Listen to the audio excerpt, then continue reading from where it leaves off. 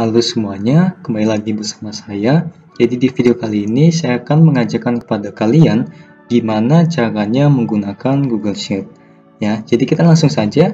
Cara membukanya kita bisa ketik linknya ya, kita bisa buka sheets.google.com atau kita bisa ketik saja di Google ya, Google Sheet.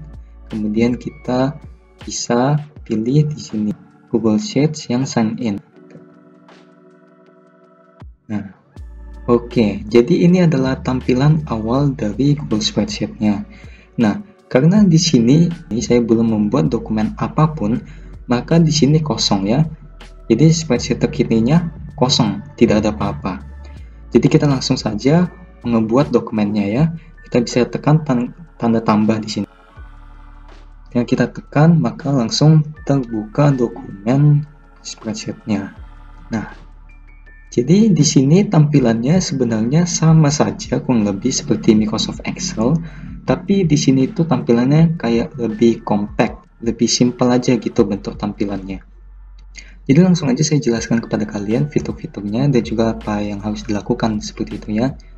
Nah, jadi pertama di sini ada untitled spreadsheet. Jadi di sini belum ada judul, jadi kita langsung aja kasih judulnya tekan tes ya tinggal kita tekan enter nah disimpan ke drive. Nah fungsinya apa kita kasih judul ini? Jadi misalkan ketika kita mau ngebuka file ini lagi kita di sini sudah muncul gitu nanti di bagian tampilan awal tadi ya sudah muncul tes beserta dokumen-dokumen lain. Jadi dengan memberikan judul kalian tidak bingung kalian mau buka yang mana. Nah jadi kita kembali lagi ke sini. Save to drive artinya adalah kalian tidak perlu menekan Ctrl Save terus-menerus seperti itu ya. Karena kalau misalnya kalian membuat perubahan seperti ketik atau memberikan apa pun, dia menyimpan dan habis itu disimpan. Jadi dia sudah auto save, kalian tidak perlu khawatir ini akan hilang kalau misalnya laptop kalian tidak sengaja ketutup atau browsernya tidak sengaja ketutup. Seperti itu ya. Nah, jadi kita sekarang belajar tentang fitur-fiturnya. Di sini ada undo ya, atau kalian bisa pakai Ctrl Z dan kalian bisa di sini untuk mengulangi jadi kembali ke depan. Misalkan saya tekan ASD A, kemudian saya tekan Ctrl Z kembali atau saya bisa menekan ini ulangi dan dia akan kembali. Di sini ada untuk ngeprint ya. Di sini ada untuk uh, formatnya. Jadi kita bisa lihat dulu di sini. Nah, di sini ada format sebagai mata uang. Fungsinya apa? Jadi pertama kita bisa pilih dulu tabelnya. Misalkan saya di sini mau tulis harga misalnya, saya mau tulis harga di sini. Di sini ada nomornya, ya walaupun di sini ada nomor, anggap saja ya saya buat di sini tidak apa-apa. Untuk contoh saja, nomor, jumlah, harga, total seperti itu. Nah, di sini misalkan dua ya di bagian harga dan total saya mau membuat dia dalam bentuk harga seperti itu ya. Jadi saya tulisnya format sebagai mata uang. Nah, fungsinya apa? Jadi kita tidak perlu lagi menulis rupiahnya. Ya, jadi kita tidak perlu lagi menulis RP berapa.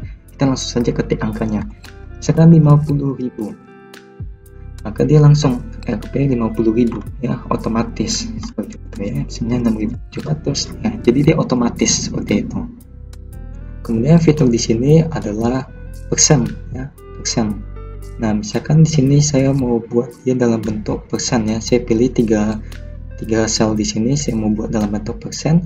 Tinggal saya tekan format sebagai persen, maka saya nggak perlu lagi tulis persen melalui keyboard. Langsung saja misalkan 100%, 200%, 50% ya.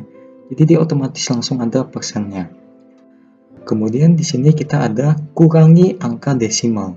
Ya, seperti namanya, maka kalau kita tekan itu, angka di belakang desimal ini berkurang. Ya, misalkan saya ngeblok yang untuk semuanya. Nah, kan semuanya ini ada dua angka di belakang koma ya, ada 0, 0. Gimana caranya kita mau satu aja, tinggal tekan ini, ya, maka langsung berkurang. Langsung satu angka di belakang koma. Atau kita mau buat dia nggak ada, tekan lagi, maka sudah tidak ada lagi angka desimalnya. Nah, bagaimana kalau misalnya kalian mau menambah seperti itu ya, bisa di sini tambah angka desimal. Tinggal kalian tekan sekali, maka muncul satu angka di belakang koma. Tekan dua kali, maka akan muncul dua angka di belakang koma dan seterusnya. Nah, kemudian di sini ada format lainnya ya. Ini ada tanggal, waktu, durasi seperti itu. Di sini ada jenis fontnya. Kalian mau bentuk tulisannya seperti apa? Misalkan di sini saya buat totalnya, saya ubah ke Comic Sans misalnya. Nah, jadi jenis hurufnya ini berubah. Kemudian di sini ada seberapa besar kalian mau ukuran teksnya. Kemudian di sini ada bold ya atau tebalkan. Kalian bisa tekan atau kalian bisa tekan Ctrl B di keyboard, maka dia akan menebalkan bagian yang kita pilih. Di sini ada italic atau miringkan ya. Jadi kalau misalnya kita tekan atau kita pilih Ctrl I di keyboard, maka tulisannya akan miring. Kita tekan lagi Ctrl B-nya untuk nggak jadi tebalin seperti itu. Di sini ada strike through atau coret ya. Jadi teksnya kecoret seperti itu. Nah, di sini ada warna teksnya. Jadi seperti namanya ya, warna teks. Tinggal kita pilih maka teksnya sudah berubah warna menjadi yang kita pilih. Kemudian di sini ada warna isi. Warna isi ini maksudnya adalah warna yang kita berikan untuk selnya. Jadi misalkan saya pilih seperti warna ini ya, maka warna selnya sudah berubah. Ya, kalian bisa buat sesuai kebutuhan dan kreativitas kalian. Kemudian di sini ada batas ya atau seperti kurang lebih kita ngebuat tabel lah kurang lebih istilahnya ya. Jadi misalkan saya mau buat di sini, saya ingin kasih garis jadi biar lebih kelihatan bahwa ini tabel yang saya lagi omongin. Tinggal kita pilih, kemudian kita pilih mau yang mana. Mau yang garis tengah aja, garis vertikal, atau kita mau semua garis. Di sini saya pilih semua garisnya. Jadi di setiap bagian itu ada garisnya. Yang di atas ini dan di tepi itu nggak ada karena kita berada di ujung gitu ya. Nah, kalau misalnya kita geserkan ini ke sini, ya maka sini sudah terlihatnya ada garisnya seperti itu. Kemudian di sini ada fitur gabungkan sel. Nah, jadi misalkan saya mau gabungkan empat sel ini menjadi satu ya. Misalkan karena di sini itu teks yang saya mau masukin itu panjang, jadi saya gabungkan sel. Maka empat situ sudah menjadi satu seperti ini. Nah, kemudian di sini ada fitur perataan horizontal. Misalkan di sini ini kan fitur kiri ya, fiturnya perataan kiri, maka mereka ke kiri ya, ya kecuali dua ini. Misalkan saya pilih tengah, maka mereka ada di tengah, perataan kanan, maka mereka akan ada di bagian kanan. Nah, kemudian kita kembali ke sel yang sudah digabung ya. Misalkan saya mau ketiknya nama, contoh aja ya.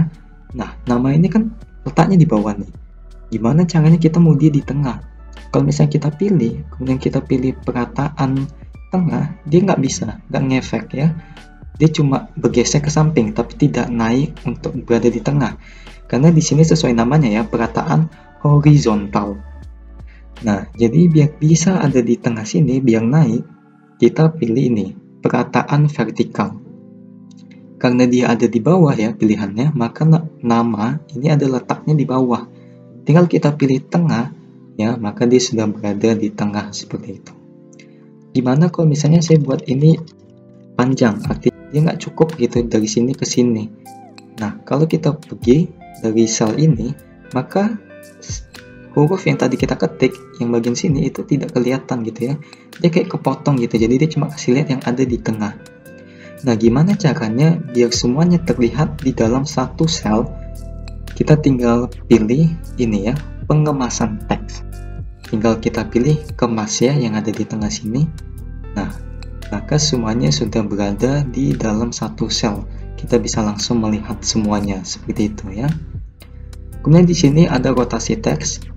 Ya, kalian bisa pilih miring, bisa pilih ke bawah, ya bisa pilih sesuai yang kalian butuhkan. Nah, kemudian di sini ada sisipkan link. Jadi fungsi sisipkan link adalah misalkan di sini ada acuan harga misalnya kita tulis acuan harga gitu. Nah, acuan harganya kita tekan sisipkan link. Kemudian kita bisa masukkan linknya. Misalkan saya kan di sini ketik acuan harga. Jadi misalkan tadi saya membahas soal harga kursi misalkan. Jadi saya kasih lihat di mana saya ambil harga kursi ini.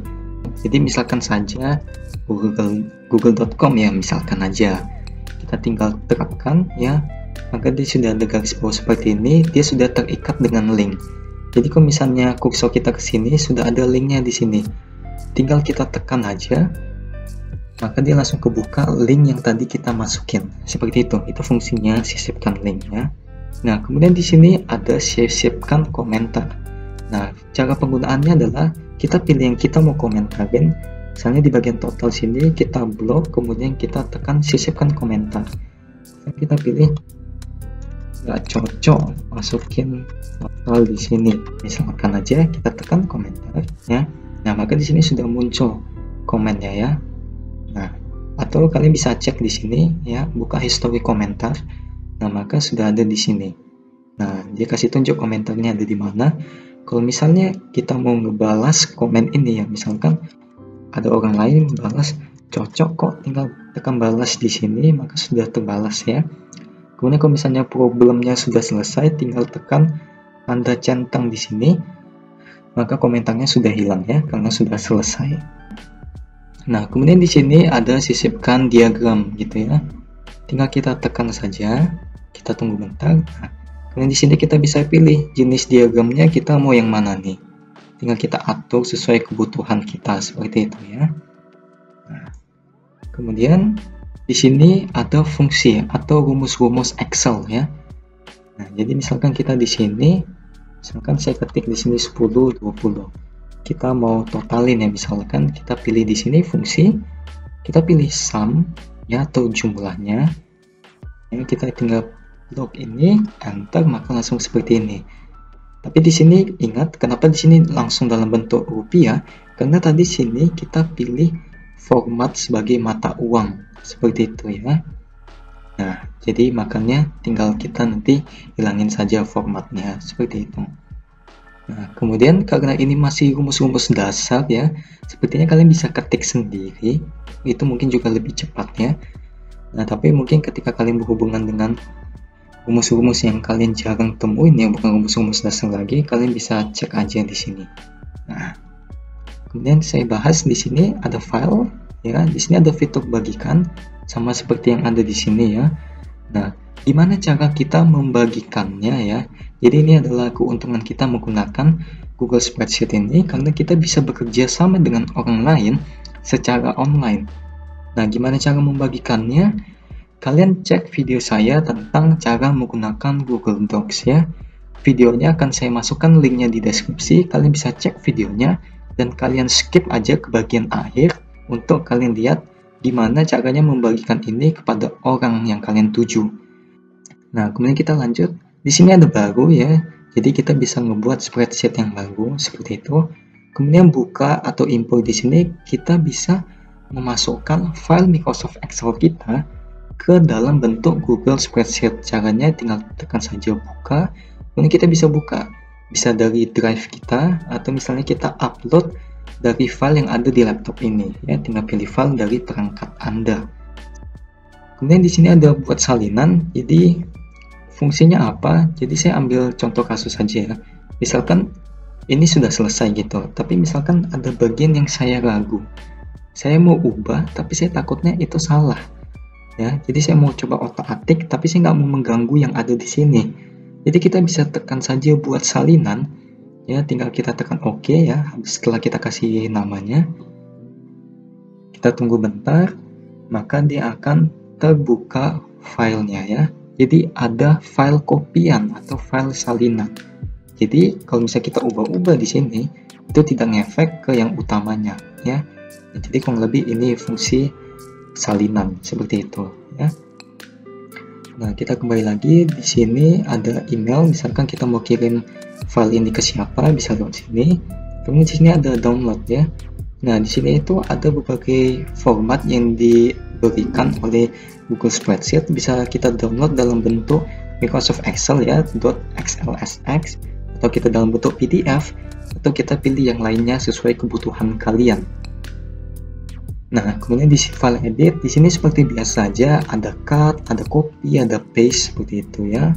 Kemudian disisipkan di sini kalian bisa nemuin diagram, kemudian kalian bisa masukkan gambar ya dalam sel atau di sini ada fitur menggambar kalian bisa cek juga di Google Docs-nya seperti itu.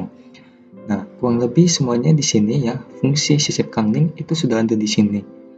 Ya jadi kalian nggak perlu melihat ke bagian sisipkan ya kemudian di format sini juga sama. Semua ini bisa kalian temukan di area luarnya tadi ya. Seperti tebalkan ukuran font seperti itu sudah ada di sini. Jadi kalian bisa cek semuanya ada di sini. Oke nah terakhir saya mau menjelaskan tentang di sini. Di sini ada keterangan terakhir mengeditnya jadi di sini dia masukkan terakhir diedit berapa menit yang lalu. Kemudian kalau misalnya kalian sudah share file ini ke teman kalian, kemudian mereka mengedit, nanti di sini ada tulisannya. Misalkan terakhir diedit 4 menit lalu oleh misalkan si Bambang gitu ya. Jadi tulisannya seperti itu. Terakhir diedit 4 menit lalu oleh si Bambang. Jadi ada namanya seperti itu. Kemudian kalau misalnya kita tekan ya, ada tulisannya buka history versi. Jadi tinggal kita tekan, nanti akan ada muncul historinya mengeditnya itu ya. Jadi misalkan siapa yang ketik ini, siapa yang menghapus ini, di situ ada uh, dikasih tunjuk di sini ya. Nah, cuma kalian harus tunggu loadingnya sebentar ya. Di sini cukup lama. Nah, di sini ternyata page-nya unresponsive ya. Jadi kita exit page aja. Kita buka ulang saja ya. Pas di sini. Nah, nah jadi begitu cara melihat uh, historinya ya kalian bisa cek sendiri nanti setelah loading akan muncul filenya kemudian bisa dilihat siapa yang mengedit ini siapa yang mengedit itu. Sebenarnya secara lengkapnya bisa kalian cek juga di video yang saya jelaskan tentang cara menggunakan Google Docs ya. Jadi nanti di video tersebut kalian bisa lihat lebih jelas lagi tentang history dan juga cara share ini ke teman kalian. Seperti itu ya. Videonya akan saya masukkan linknya di deskripsi. Jadi sekian saja video kali ini tentang cara menggunakan Google Sheet. Semoga ini berguna bagi kalian ya. Kalian bisa share video ini ke teman-teman kalian yang juga sedang belajar cara menggunakan Google Sheet ini. Jadi sekian dari saya, terima kasih dan sampai jumpa.